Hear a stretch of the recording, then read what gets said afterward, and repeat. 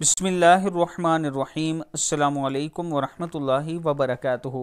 सगीरा गुनाहों से माफ़ी की दुआ। रसूलुल्लाह सल्लल्लाहु अलैहि ने इरशाद फरमाया, रोज़ाना सौ मरतबा ये दुआ पढ़ें, इसके तमाम सगीरा गुनाह माफ़ कर दिए जाएँगे, अगरचे वह समंदर की जाग के बराबर ही क्यों ना हो। दुआ क्या है? सुबहान अल्लाह व बिहमदिही। बुखारी की हदीस है। इस वीडियो को आगे शेयर करने के साथ चैनल को ज़रूर सब्सक्राइब करें। अल्लाम वरहमल वर्का